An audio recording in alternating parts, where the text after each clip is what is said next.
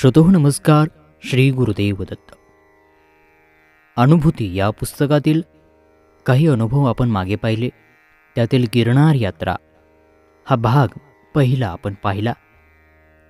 आज त्याच पुस्तकातील गिरनार यात्रेतील हा दुसरा भाग दुसरी गिरणार यात्रा त्यासंबंधीचा अनुभव आज पुनश आपण श्री राजीव दत्तात्रय मनोहर यांच्या अनुभूती या अनुभवांच्या पुस्तकातील हा आजचा अनुभव आहे. हे पुस्तक आणि हे अनुभव सर्व तुम्हाला वाचायचे असतील तर त्याचे लिंक तुम्हाला डिस्क्रिप्शन बॉक्समध्ये देत आहे. तेथून तुम्ही ऑनलाईन हे पुस्तक वाचू शकता. तर चला आज सुरुवात करूया दुसरी गिरणार यात्रा. सर्वप्रथम जेव्हा श्री पद्मानंद महाराजांनी गिरणारला जाऊ असं सांगितलं तेव्हा गिरणारबद्दल मला काहीच कल्पना नव्हती. आणि म्हणून प्रथम वेळी जेव्हा गिरणार चढून दत्तपादुकांजवळ पोहोचलो. तेव्हा तर आश्चर्यकारकपणे मला एकट्याला दर्शन घेऊ दिलं नाही. तेच माझ्या बायकोसोबतही घडलं. तिला पण व्यवस्थितपणे दर्शन घेऊ दिलं नाही. एवढेच नव्हे तर मी कमंडलू कुंडाच्या कमानीपाशी बसून असताना ती पुन्हा दर्शनासाठी गेली. एका भगव्या वेशातल्या माणसाने तिला डोक्यावर हात ठेवून आशीर्वाद दिला की वर जा तुझं पूर्ण दर्शन होईल. आणि तो माणूस मागून गेला. मी समोरच बसून असताना सुद्धा दिसला नाही. पुढे खाली उतरताना मी खूप अस्वस्थ झालो होतो. एवढ्या दहा हजार पायऱ्या चढून नागपूरहून मी गिरणारला आलो होतो. आणि मला साधं दर्शनसुद्धा घडू नये. उतरताना एक पांढरा सदरा आणि पायजमा घातलेला लंबकेश उंचपुरा माणूस मला भेटला. अस्वस्थ चेहरा पाहून मला त्याने विचारले की झाले का दर्शन? मी जरा रागातच बोललो. काही उपयोग नाही. महाराज काही दर्शन देत नाहीत. तो लगेच म्हणाला पौर्णिमेला या मी वरच असतो. रात्री बाराला तुम्हाला दर्शन होईल. नागपूरहून पुन्हा जुनागडला जाणं काही शक्य वाटत नव्हते. तरीही त्याला हो येईल असं मी म्हणालो. त्याची विचारपूस केली तर त्याने त्याचे नाव नवनाथ सांगितले. तुम्ही काय करता तर त्याचा औषधाचा धंदा आहे. आणि आयुर्वेद फर्मचं नाव काय तर रुद्रा फार्मा असं त्यानं सांगितलं. मला जरा आश्चर्यच वाटलं. सर्व गोष्टी माझ्या क्षेत्राशी संबंधित होत्या. तेवढ्यात नवनाथ म्हणाले की तुम्ही पौर्णिमेला एकटेच या. मॅडमला आणण्याची काही गरज नाही आहे त्यांचे दर्शन झाले आहे. मी अचंबित झालो. यांना हे सगळं कसं काय समजलं? मी त्यांचा मोबाईल नंबर घेतला. आम्ही दोघे खाली उतरलो. राजकोट मार्गे नागपूरला घरात पोचलो आणि पोचतो नाही पोचतो तर नवनाथांचा फोन आला. येणार ना पौर्णिमाला? शेवटी ऑक्टोबर दोन हजार पंधरामध्ये कोजागरी पौर्णिमेला जायचे ठरवले. माझे मित्र श्री देशमुख यांनी माझ्याबरोबर येण्यास संमती दिली. तसेच माझा भाचा श्री मुकुल दाते हा सुद्धा यायला तयार झाला. आम्ही तिघे ठरल्याप्रमाणे जुनागडला कोजागिरीच्या आतल्या दिवशी दुपारी अडीचला पोचलो प्रथम एका गेस्ट हाऊसमध्ये रूम घेतली. मला सारखे वाटत होतं की गिरनारच्या बाजूला जावे. मी इच्छा सांगितली ते दोघेही तयार झाले. आश्रमात सामान घेऊन आम्ही संध्याकाळी पोचलो सद्गुरू शेरनाथ बाजूला भेटले. त्यांना लागलीच माझी आठवण झाली आणि लगेच आमची राहायची व्यवस्था केली. संध्याकाळी आरती चालू असताना गिरीशिखरावर एक तारा स्पष्टपणे पूर्वेकडून पश्चिमेकडे जाताना दिसला. ते विमान नव्हते याची खात्री झाली. ही एक प्रकारची पुढे घडणाऱ्या घटनांची पावती होती. रात्रीचा प्रसाद ग्रहण करून आम्ही आमच्या खोलीत झोपलो आणि पहाटे डोंगर चढायला सुरुवात केली. सकाळपासून असलेली उत्सुकता मनावर असलेली नवनाथांची आदेशाची दडपण यामुळे थकलेलो होतो. सावकाश पायऱ्या चढताना एक हजार पायऱ्यांवर अचानक मला छातीत दुखायला लागलं. खूप दम लागून घाम फुटला.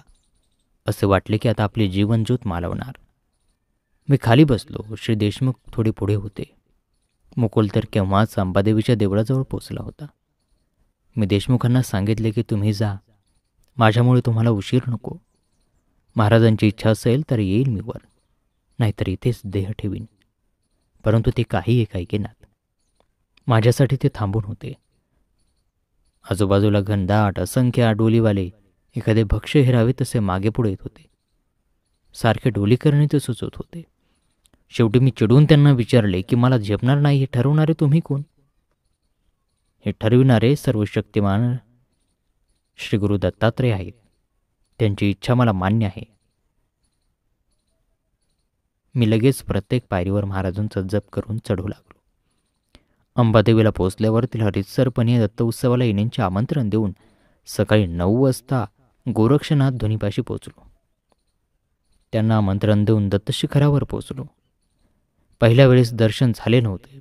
त्यानंतर श्री नवनाथांचे सारखे फोन दररोज देवासमोर घरी जप करत असताना गुरु दत्तात्रयांची साक्षात मूर्ती माझ्याकडे पाहून हसते आहे.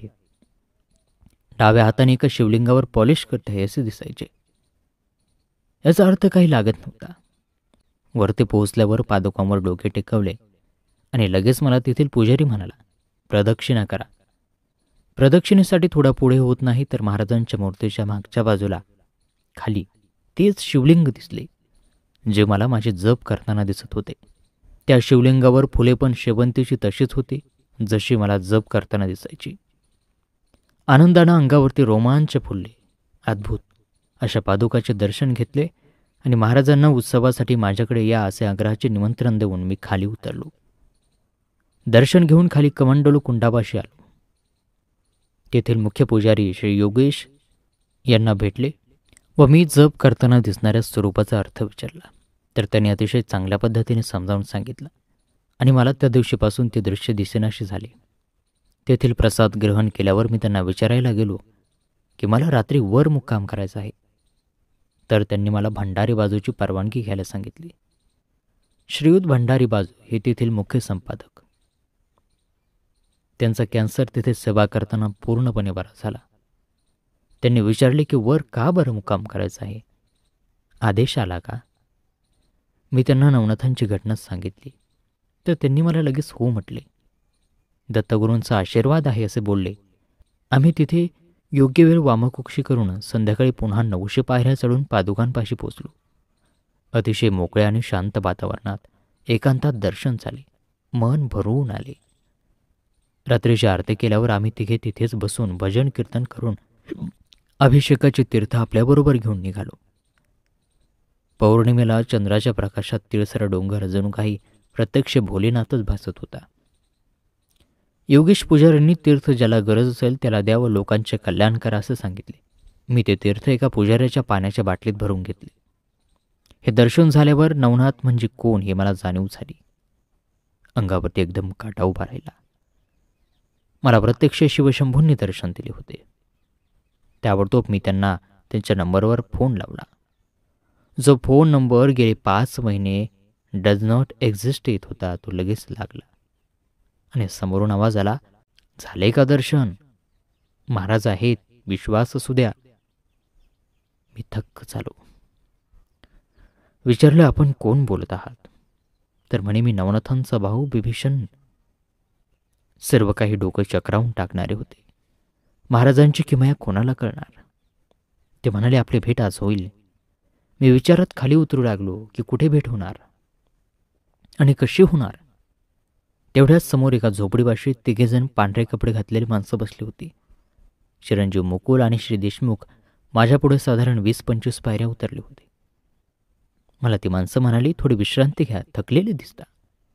मी तिथे थांबलो. आणि बसतो न बसतो तर एक थोडा वयाने मोठा तरुण पुढे आला आणि मला म्हणाला मी बिभीषण. आत्ताच आपण नवनाथांशी बोललो तोच.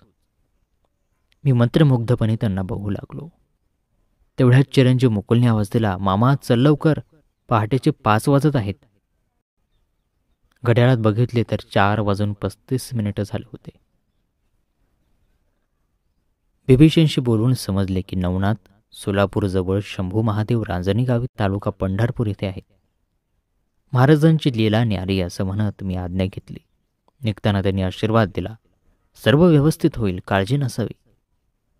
खाली उतरून दुसऱ्या दिवशी मी श्री देशमुख सोमनाथला महादेवाचे दर्शन घ्यायला गेलो. चिरंजीव मुकुल हा डायरेक्ट ट्रेनने मुंबईला परत गेला. सोमनाथाहून आम्ही दोघं नागपूरसाठी परत निघालो. आणि अशा प्रकारे श्री गिरणारींच्या आदेशाप्रमाणे माझी दुसरी गिरणारवारी पूर्ण झाली. आणि मला पडलेल्या काही प्रश्नांची कोडी सुटली. जय गिरणारी तेरा वचन ना जाय खाली. श्री गुरुदेव दत्त. तो अनुभव तुम्हाला कसा वाटला? कमेंट करून नक्की सांगा आणि हो. आणि हो आपले काही अनुभव असतील तर ते इतरांना सांगावेस आपल्याला वाटत असतील. तर निश्चित. त्याच्यासाठी तुम्हाला मेल आय डी देत आहोत त्यावरती आपण आपला अनुभव टाईप करून आम्हाला पाठवा. आम्ही तो सगळ्यांपर्यंत पोचवू चला तर पुन्हा भेटूयात नवीन व्हिडिओत. नवीन माहितीसह तोपर्यंत नमस्कार. धन्यवाद. श्री गुरुदेव दत्त.